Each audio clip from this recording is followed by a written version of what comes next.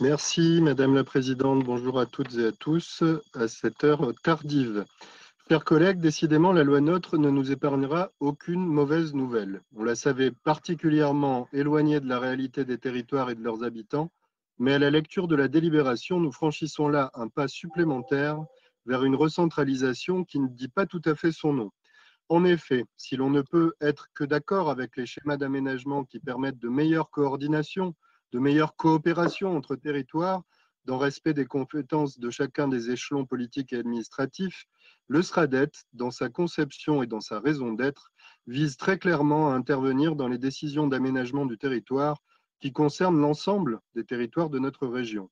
D'ailleurs, les modalités de sa gouvernance et ses rapports aux autres collectivités sont assez floues pour laisser dubitatif sur une réelle volonté d'alliance des territoires. Je sais que vous l'avez à cœur, chère camarade présidente.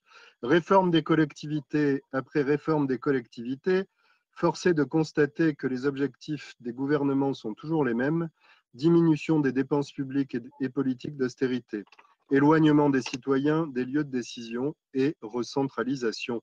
Le SRADET fusionne plusieurs schémas existants, climat, air, énergie, transport, intermodalité de prévention et gestion des déchets. C'est finalement les régions qui prendront ces décisions d'aménagement structurant en lieu et place des collectivités plus locales, pourtant au plus près des réalités et dont les équipes municipales ont été élues pour mettre en œuvre les programmes politiques proposés aux électeurs.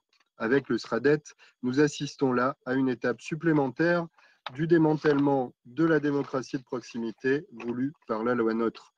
La délibération, du reste, ne laisse pas de doute et fait, avec politesse, esprit constructif, bienveillance, de nombreuses remarques sur la méconnaissance qu'a la majorité régionale des problématiques et des fonctionnements dans une région qu'elle est censée administrer, développer et projeter vers l'avenir. Je serai donc plus direct.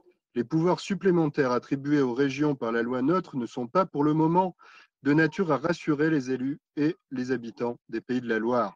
Au regard des politiques régionales austéritaires et antisociales menées depuis 2015 par Bruno Retailleau et Christelle Morancé, les orientations stratégiques présentées par le projet de SRADET font craindre le pire pour l'équilibre et l'égalité entre les territoires, le développement des transports, le développement économique durable, l'offre de services publics ou encore l'habitat.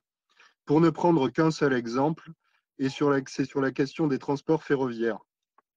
Après avoir diminué le budget transport ferroviaire, encouragé l'ouverture des TER à la concurrence, validé la fermeture de nombreux guichets dans les gares, être resté sourde aux revendications des cheminots Voilà quelques semaines que quelques semaines avant les élections régionales, Christelle Morancé annonce vouloir une stratégie régionale des mobilités et développer le nombre de points de vente de billets de train. Mais qu'ont-ils fait ces cinq dernières années? Pour terminer, ce n'est pas le schéma régional qui est en cause, mais bien les orientations politiques prises par la majorité régionale qui pourraient nous conduire à revoir à la baisse nos politiques publiques et nos ambitions pour le territoire, pour nos services publics pour l'environnement. C'est pourquoi, vous l'aurez compris, j'imagine, les élus communistes voteront cette délibération qui, à juste raison, formule des remarques, des demandes et des précisions sur un document bien en deçà des enjeux du moment pour l'instant. Je vous remercie de votre attention. Merci.